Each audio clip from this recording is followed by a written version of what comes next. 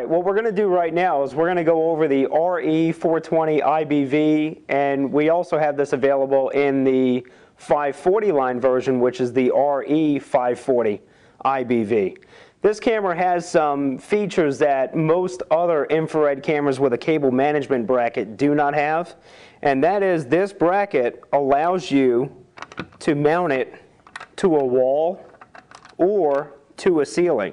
Most cable management brackets come out of the bottom of the camera, which make them a little harder to mount and, and a little harder to find a good place to mount at the job site. Um, next, we're going to go over the infrared array. This infrared array is rated for 90 feet.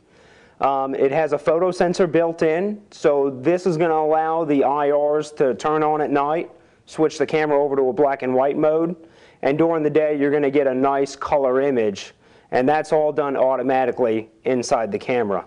Underneath the camera, you actually have your adjustment knobs here for your zoom and your focus.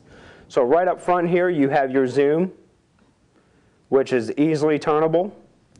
And then you also have your focus right here behind it. Again, when this camera is mounted up there, it's real easy to get to. There's no screwdrivers or any weird tools that you actually need to get the install complete.